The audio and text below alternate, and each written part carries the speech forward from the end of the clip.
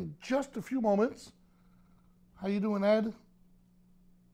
Now, a question we asked before the show is, do you create your own Luminar looks? Uh, throw that into the chat box.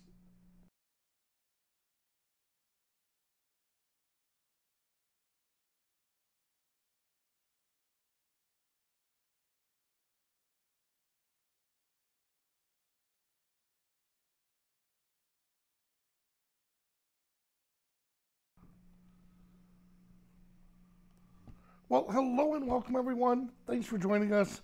Uh, I'm your host, Vanelli. Now, this virtual coffee shop is designed for you to ask a bunch of questions and then for us to, to give you the answers.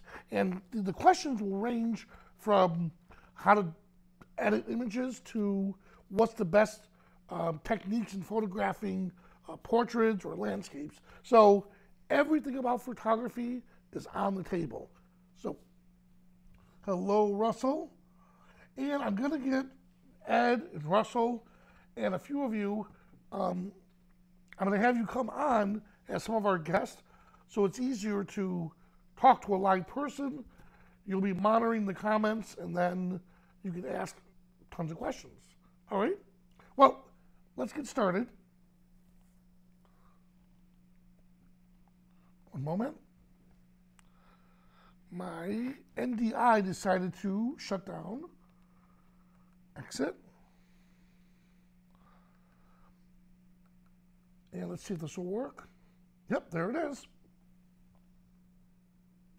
Hello, Rick from UK. All right. All right, so our goal today, we're going to talk about how to fix contrast. So how to how to look at it, how to um, problem solve, and as you know, we've talked about this so many times. Luminar, the goal of Luminar is to be to, um, purpose centric, not tool centric. Our goal is to teach you how to solve problems, and you're using these tools to get it accomplished. So, that said, let's come up here to the help menu and let's click on our user guide.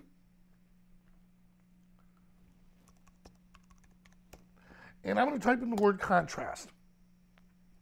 Look at all these tools that helps us with contrast. Off the top, obviously we do advanced contrast control or tool, color enhancer. Ooh, I didn't realize it at first, but the dramatic tool, yes, it does. Um, the dramatic tool has tools or um, settings inside of it that deals with contrast. Right? Okay, um, Ed will answer that question in, in a few moments. All right, so I'm going to start out first. I'll minimize this. And the first thing I like to do is bring back some of the highlights. And already, notice the contrast on her skin is coming back. So right here, I can see part of it's blown out. So what we want to do is bring that back and of course, our AI accent. I don't want to go overboard on this yet because I need to repair the image a little bit. Now let's go to the Pro Tools. Here's where we were talking about the advanced contrast. So instead of just adjusting the overall contrast, like I could up in here, the smart, the smart tone, the smart contrast, I could do that here. But that's not what I want to look, what I'm going for. What I'd rather do is break it down to highlights, midtones, and of course the shadows. So here's the highlights. And notice the skin color is slowly coming back. And I can balance it. I'll get right about there. Midtones. Good. And again, I can balance it. And last are shadows. And keep in mind, you don't have to adjust all three. I just want to see what the shadows are doing and see if it's going to add or take away Well, you know what? I actually like right about here. All right, there we are. So that was our advanced contrast, and that brought, brought it back a bit. Now, let's look at the color enhancer. Now we're going to deal with the color contrast. too much. Right about there is good. Look at the brilliance. And we're going to warm up the scene just a touch.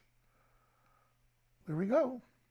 And again, just click on the toggle, toggle on and off to see what the effect is doing or what the tool has, the effect the tool is having on the actual image. Come back up to the advance and tweak it just a touch. There it is. So before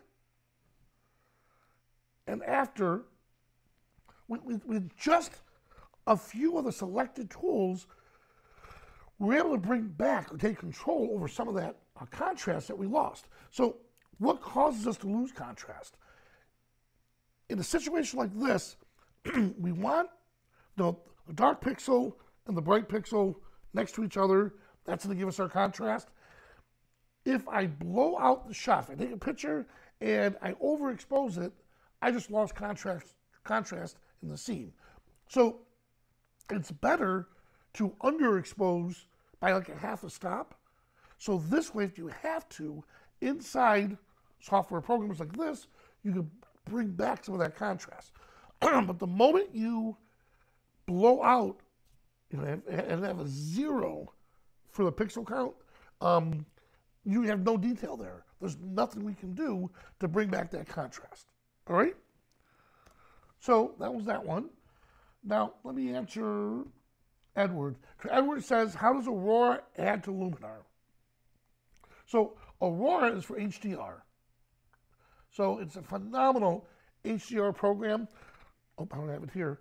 The, the picture you saw that I did of the cowboy, just for a goof, I wanted to see how it would look with a single image if I could pull out all the HDR in it using Aurora.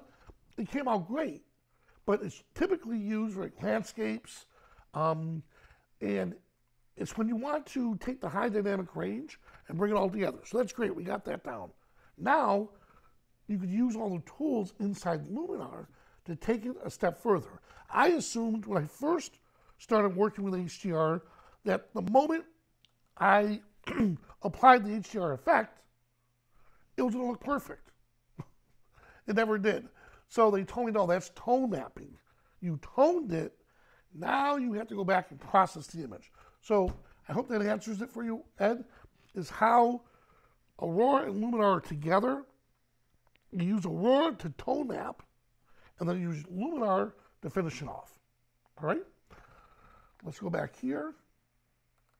Here's the Scottish Castle again from my good buddy Gary McIntyre.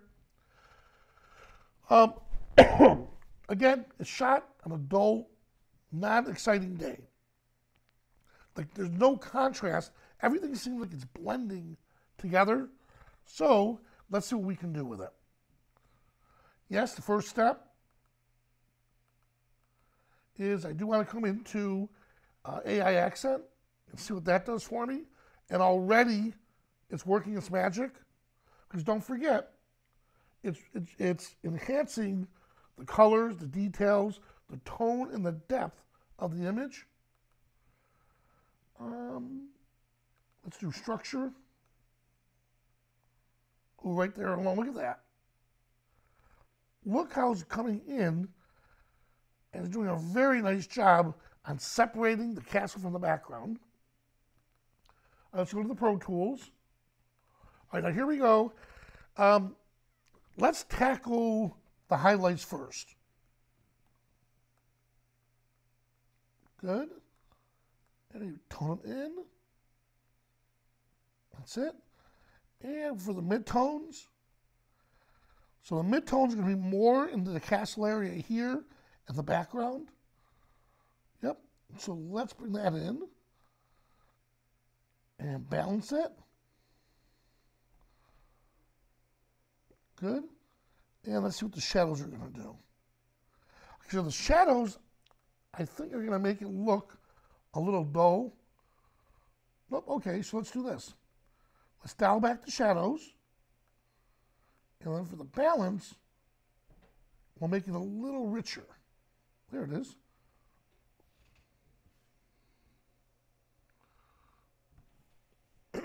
Good. Before and after, and we'll use this one globally. So just as smart contrast, look what it did for us here. Now let's come back to the color enhancer, which has the color contrast in it. Now we don't want to go overboard, because if we do, look how fake the grass looks. I like the water, but not the grass. Maybe change the whole hue. Ooh, I like that. Excuse me. And, ooh, that's a different approach. Good. So it's changing the time of day, it seems, that we uh, photographed this. Great. And again, before and after. Yeah, it still looks like I overdid it a bit. So I'm going to dial it back a little. Right there. And I reset it. So you saw I made a mistake and I hit the reset button. We'll come down to the history tools and I'll just undo my reset instead of starting all over again. There it is. All right. And last, we might as well do what Harrington suggests the uh, 50 70% rule. Dial it back to zero, cranking up between 50 to 70%. This is going a little bit further.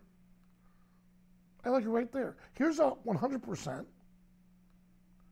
So that's the effect everything is doing. Let's dial it back just a little. I like it right there. Great. And so there you have it. So, um, so guys, again, what we're going to do is if we want to improve the contrast, we figure out which tools can help us get there. But before we do any of that, we want to make sure that when we're actually photographing, like Dave said, you know, we want to expose for the shadows and develop for the highlights. Well, what we want to do here is use the power of the um, of the user guide. And again, just type in contrast.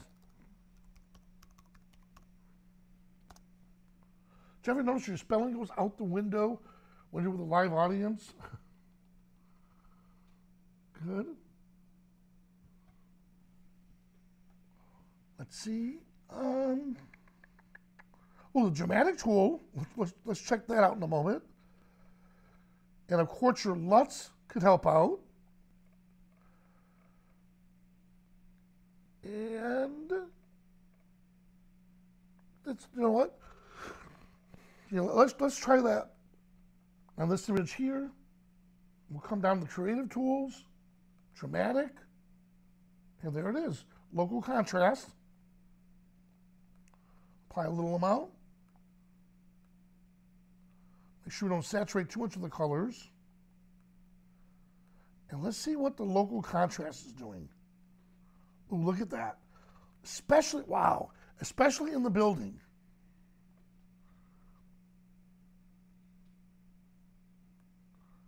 You know what's interesting? out, of, out of all the times I've edited this image, I never noticed the power lines behind it. Look at this. So that's interesting. Um, and again, because it was dull and flat, you didn't notice it, and now you do. Awesome. All right, so Tom asked, will there be a plugin for Aurora to go from Luminar to Aurora? Um,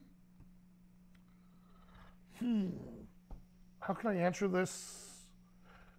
Put that as one of the feature requests, all right?